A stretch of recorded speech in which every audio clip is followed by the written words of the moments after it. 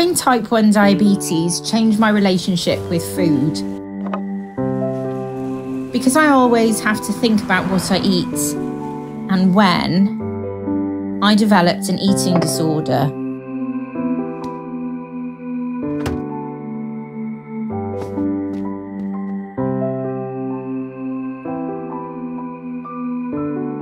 Having diabetes means that I have to monitor my blood glucose at least four times a day.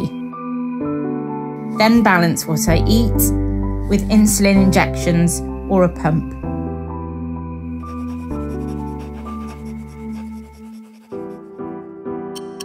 Trying to manage my diabetes together with poor mental health left me struggling to function on a normal level. And so it was just easier not to eat.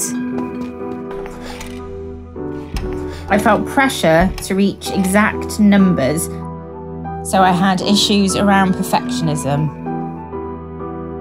And basically, I found comfort in my eating disorder, as that is where I had control.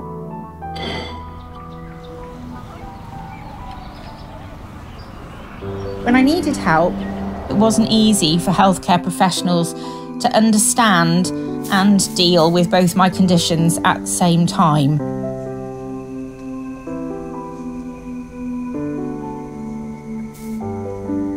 And typical eating disorder labels don't always fit.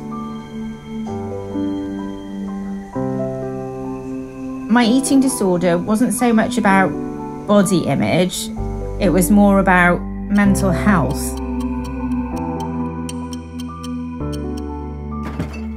I just didn't want to take my insulin. You become secretive, you don't tell anyone.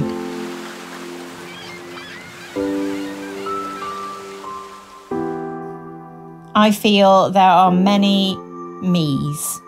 The diabetes me is the one I hide most of all the one I feel I fail at most. As if lost at sea, being swept in and out, drowning.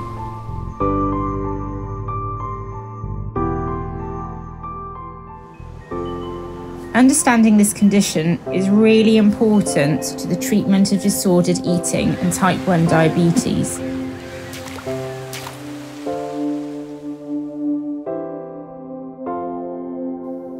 If healthcare professionals came together and discussed how I was feeling and offered advice on how to cope, it would really help. It would support me to manage my condition and my relationship with food.